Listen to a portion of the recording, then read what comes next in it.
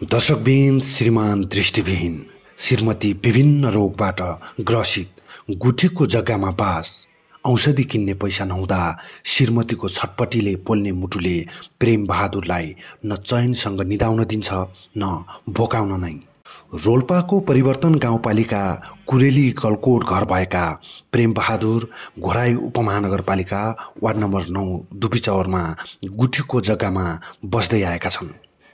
श्रीमती रिता बुढा बिरामीले थला परेको आज चार महिनाभन्दा बढी भयो। दृष्टिविहीन श्रीमानको सहारामा श्वास चाहिँ फेर्छिन् ओछ्यानमा जिउँदो लास बनेर। दुई हजार अडसट्ठी सालमा वैदेशिक रोजगारीबाट नेपाल फर्किएका प्रेम बहादुर सामान्य मान्छे जस्तै स्वस्थ थिए अनि राम्रोसँग आँखा देख्थे। वैदेशिक रोजगारीबाट फर्कदै गर्दा रोल्पाको सदरमुकाम लिबाङ पुगे। शरीर चिलाउने समस्या भएपछि रोल्पाको स्थानीय मेडिकलमा उपचारको लागि पुगे। सृष्टि डाक्टर नामका एक डाक्टरले एलर्जी भएको भन्दै एक औषधि खुवाए। त्यो औषधिको रियाक्सनले प्रेम बहादुरले दुवै आँखाको नेत्रज्योति गुमाए सदा सदाका लागि।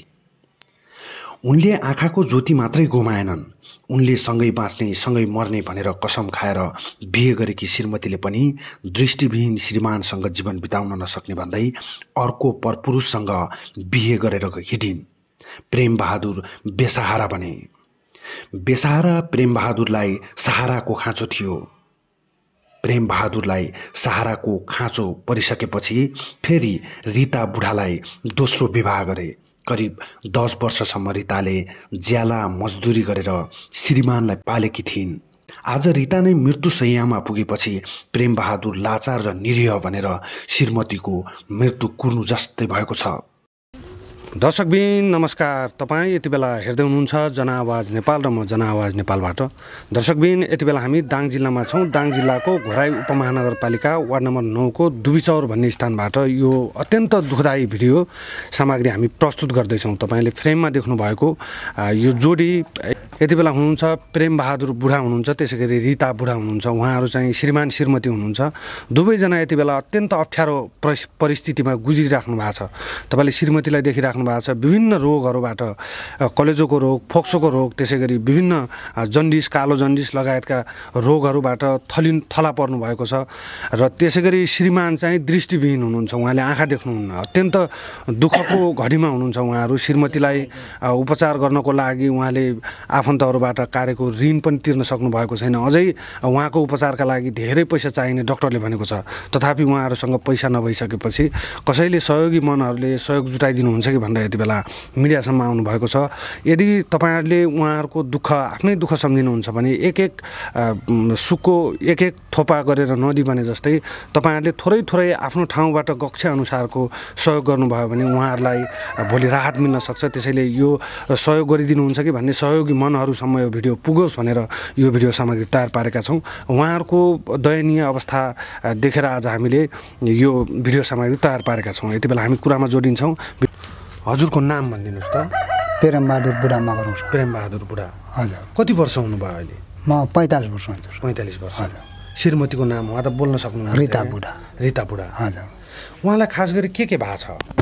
यहाँलाई खास गरी यो फोक्सोको अनि तपाईँको यो कलिजोको अनि किक्ने डेमिस हुन लागेको छ गरे अनि तपाईँको यो खाना खाँदाखेरि त खाना पाचन हुन्न गरे अनि खाना खाने बेला उल्टी गर्ने माथि भयो अनि अहिले खाएपछि अलिकति खाएपछि पखाला लाग्ने। अनि त्यस्तो बिरामीहरू छ। अनि फेरि जेन्डेस त्यहीँ छ गरे कालो जन्डेस सेतो चाहिँ के के जन्डेस हुन्थ्यो अनि शरीर पुरै शून्य छ। अनि इन्डियामा दुई ठाउँ लगेको गरे अनि उहाँबाट फेरि उहाँबाट फालिदियो उहाँदेखि घरै लग्यो घरैबाट फेरि कहाँ भ्यान्तीले कहाँ कहाँ ऊ गर्ने बेला त्यहाँबाट निकालेको फेरि तुलसीपुर लग्यौँ। तुलसीपुरबाट लग्यौँ र अब अरू बिरामी बुढी के के डुक्ने डाक्ने कराउने गर्छ पहिला त्यो सबै चाले गर्दैन अहिले पुरा बोल्नु सक्दैन। बा निले त औषधि खाएर हो बा क्या भएर बोल्दैन। त्यहाँबाट ल्याएकोदेखि यो जता बसेको छ उता तोला छ जता हेर्छ उता हेरेको हेरेर बोल्दाखेरि एक छट्के एक आँगरमा बोल्छ अर्को बोरा बोल्छ कति कति वर्षको हुनुभयो यो भयो होला चालिस वर्ष। चालिस वर्ष। कति हजुरका बच्चा बच्ची तिनवटा छ तिनवटा बच्चा हजुर साना साना छन्। ए ए। एउटा दस वर्षको एउटा नौ वर्षको एउटा चार वर्षको छ ए। त्यसै माथि तपाईँले आँखा देख्नुहुन्न? नै। पहिल्यैदेखि जन्मजाति देख्नु भयो। होइन पछि भएको सत्तर अठार वर्ष भयो दृष्टिबिन भएको। के भयो हजुरलाई चाहिँ मलाई औषधिले रिएक्सन बनाएको। औषधिले रियाक्सन। हजुर। औषधि क के को औषधि खानु भएको थियो? औषधि एलर्जीको भन्नु नि डाक्टर एलर्जीको खाएको एलर्जी औषधि खाँदाखेरि बिरामी अर्को हो औषधि अर्को भएर क्या भएर त्यो औषधिले रिएक्सन बनायो। भन्नु नि त्यो भैरवा डाक्टरमा उपचार गर्दाखेरि। ए एकछिन चस्मा खोल्नुहोस् त हजुरको केही देखिन्न होइन? ना- कि चाहिँ नानी छैन यो। पहिला देख्नुहुन्थ्यो सबै। पहिला त देखेको विदेशमा गएको पहिला त। विदेश जानुभएको थियो पहिला। कति कति पनि देखिन्न विदेशबाट आउँदाखेरि बिरामै गरेर उपचार गर्दाखेरि एकदम तिर्सिदिनु अनि पहिलाको मेरो श्रीमती पनि छोड्यो अनि एकदम बिराम अरे पछि दृष्टिबिन भएको पछाडि ल्याएको ए ए पहिलेको पहिलोको त म दृष्टिबिन भएको पछाडि विदेशको पैसाको खायो खायो कति कति अब मैले बिरामी हालेँ कति क्या गरेँ गएको अर्को नाम। श्रीमती कहाँ हुनुहुन्छ अहिले पहिलोको पहिलो श्रीमती कता पहिलो गएको यहाँ छैन। डक्टरको लापरवाहीले तपाईँको आँखाको ज्योति घुम्यो। हजुर। पछि डक्टरले क्षतिपूर्ति दियो कि दिएन? दिएन त्यो डाक्टर अहिले छैन त्यो क्षतिपुरी चाहिँ डाक्टर मरेको अहिले छैन त्यो डाक्टर।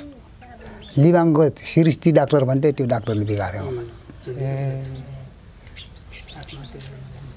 अब श्रीमतीको त्यस्तो अवस्था छ तपाईँको यो दृष्टि देख्नुहुन्न। हजुर। तपाईँहरूलाई त साह्रै चाप छ आर्थिक चाप। उहाँलाई उपचारको लागि डक्टरले के भन्नुभएको छ? डाक्टरले त अब ठिक हुने नहुने अब उता माथिको भर पर्नुपर्छ हामी सक्कन चाहिँ प्रयास गर्छौँ। भन्नुहुन्छ पैसा छैन। क्या पैसाले उपचार हुने केले क्या गर्ने? सक्कन चाहिँ हामी प्रयास गर्छौँ अब निको बना लग्ने भन्नु पो पैसा थिएन अनि अस्ति उहाँ अस्पताल लग्यो भने एक लाख बिस हजार रुपियाँ तिर्यौँ त अरू बाँकी उपचार गर्ने भन्दा पैसा भएन अनि कति बाह्र हजारको औषधि उहाँ बिल लेखेर उहाँ पठाइदिएको छन् अनि त्यो ल्याउने पैसा नभएर औषधि लिनु पनि गएन उहीँ छोडेर बिना औषधि निकाली ल्यायौँ पैसा नभएर। आरटिको पैसा कम भयो। अनि त्यो पनि अरू कसै आफ्नो मान्छेले हालिदिएको ऋणमा अनि त्यो पनि अघिल्ला दिन त्यहाँबाट निकाल्ने अर्को दिन छिटो ल्यायो भने न करान लागिले। अनि कहाँबाट र अहिले हामीले हामी यस्तो अवस्था यी बेला किन माग्छौँ भने अलिअलि त्यस्तो कुराहरू गऱ्यौँ अनि घर गएका छन् कहिले फेरि आउँछन् थाहा छैन। उहाँलाई सुरुमा चाहिँ के भएको थियो? कहाँदेखि कसरी सुरु भएको थियो यो रोग चाहिँ? कुनै इन्डिया कमाउनु गयो हाम्रो अवस्था यसो छ। हामी म बालबच्चा हेरेर यहाँ बच्चाहरू स्कुल पढाउने यहाँ घरमा बस्ने यो कमाउनु गएको इन्डिया गएको थियो। अनि इन्डिया कमाइ गर्दा गर्दा उहीँ बिराम बोकेर बिराम गएर उहाँ दुईवटा अस्पतालमा अस्पताल गरेर पचास साठी हजार उहीँ ऋण लगाएको छ उहीँ नसकेर फेरि नेपाल पठाइदिएँ। अनि यहाँ पठाएको बित्तिकै फेरि भोरै लग्यो महेन्द्रमा महेन्द्रबाट फेरि तुलसीपुर के रापोटी के लायक के भन्छन् त्यो अस्पतालमा लग्यो उहाँदेखि मैले फेरि निकालेर बल्ल अस्तिको दिन यहाँ ल्याएछ। कति वर्ष भयो उहाँ चाहिँ यो बिरामीले थलिनु भएको? बिरामी थल्लेबाट लगभग कति वर्ष भयो थाहा भएन। अलिअलि गरेर गरेर पहिले थियो होला असली यस्तै भएर सकेस बिराम भएको एउटा दुई महिना भयो। दुई महिना। हजुर। सिकिस भएको अब दाङमा घर चाहिँ हजुरको घर चाहिँ कहाँ? पहिलाको घर हजुर। पहिला घर त रोल्पा हो। रोल्पा कुन ठाउँ? कुरेली कुरेली। हजुर कुरेली गोलकोट। ए ए ए। हजुर। बसाइ सरेर यहाँ आउनु हजुर। ए परिवर्तन गाउँपालिका। कुरेली भन्ने तपाईँको घर। हजुर अहिले चाहिँ बसाइ सरेर दाङमा बस्नुहुन्छ। हजुर। म- अब उहाँको उपचारको लागि त अब एउटा घर रहेछ तपाईँको। जग्गा छ कि छैन? ए जग्गा छैन। यो घर पनि हाम्रो ऊ उसको छ यो गुठीको। यो गुठीकोमा कैलानीमा बस्नुभयो हजुर। सिरिस्ता होइन ए ए ए। अब उपचारको लागि श्रीमतीको उपचारको लागि के भन्न चाहनुहुन्छ? हेरिराख्ने देश विदेशमा हुनुभएका दर्शकहरूलाई के भन्नुहुन्छ? अब क्या भन्ने? अब साथीभाइहरूले दुई चार रुपियाँ कोही सहयोग गरिदिए के गरिदिए अगर कि उपचार गरौँला भने आश छ क्या? र अरू क्या गर्ने र अब त्यही आशले यस्तो तपाईँहरूलाई भनिदिएको न तर अब त्यहाँबाट सहयोग पाएन भने त अब के ऊ भएन भने अब जिन्दगी अब त्यस्तै घुम्ने अब अब क्या गर्ने र अब अन्तिममा। उपचार छैन पैसा छैन केले उपचार गर्ने र कुनै उपाय छैन। कुनै उपाय छैन। अझ ती थियो अलिअलि पहिले सिद्धीको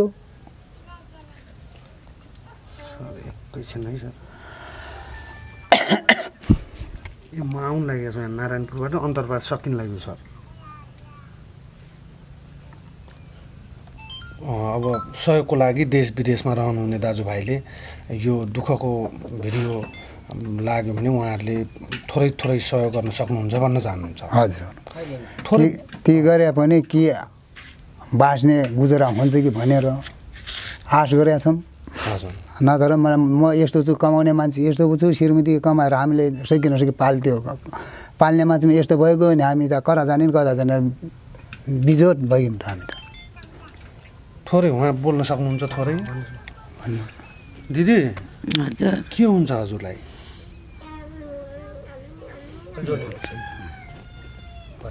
जोड्ले भन्नुहोस् त। त्यति भन्छ शरीर दुख्छ? खाना मिठो हुन्न होइन? खाना पनि के खाने? खान्छ उल्टी गरेर दुख्छ? कतैतिर दुख्छ? शरीरका भागहरू दुख्छन्? अझै त के औषधि दिया चाहिँ के दिया छन्? निलो थोको बा कियाको शरीरले दुख्दैन दर्शकबिन यति बेला तपाईँले देख्नुभयो उहाँहरूका कुरा पनि सुन्नुभयो। उहाँ चाहिँ यति बेला बोट क्वालिटी परेका छन् खुट्टा खुट्टा सुनिएका छन्। उहाँका धेरै समस्याहरू छन्। मुटुको कलेजोको त्यसै गरी फोक्सोको किडनीको जन्डिस त्यसैमाथि। उहाँलाई उपचार गर्नको लागि पनि उहाँ हुनु श्रीमान त हुनुहुन्छ तर उहाँ दृष्टिविहीन हुनुहुन्छ। र आय व्ययको घरमा कमाउने कुनै पनि आय स्रोत नभएपछि उहाँहरू कतैबाट हामीले सहयोग पाउँछौँ कि भनेर यति बेला हाम्रो सहयोग माग्नु भएको थियो। हामीले पनि यो भिडियो सामग्री सहयोग स्वरूप बनाएका छौँ र तपाईँहरू हेर्ने दर्शकले थोरै थोरै आफ्नो ठाउँबाट जति सक्नुहुन्छ रुकुम रोल्पा रोल्पा उहाँको घर बताउनु भएको छ। रोल्पातिरका रुकुमतिरका देशका विभिन्न जिल्लाहरूका व्यक्तिहरू देश विदेशमा हुनुहुने सबैले थोरै थोरै सहयोग गरेर उहाँको उपचारको लागि उहाँहरूको घर जग्गा पनि गुठीमा रहेछ। यो उहाँको आफ्नो पनि होइन पैसा यो घरलाई बन्दगी राखेर उपचार गरौँ भने पनि आफ्नो नाममा सम्पत्ति छैन। त्यसैले सबैले सहयोग गरिदिनु होला र उहाँको उपचारको लागि यो अभियान अगाडि बढाइदिनुको लागि हार्दिक अनुरोध गर्दछौँ।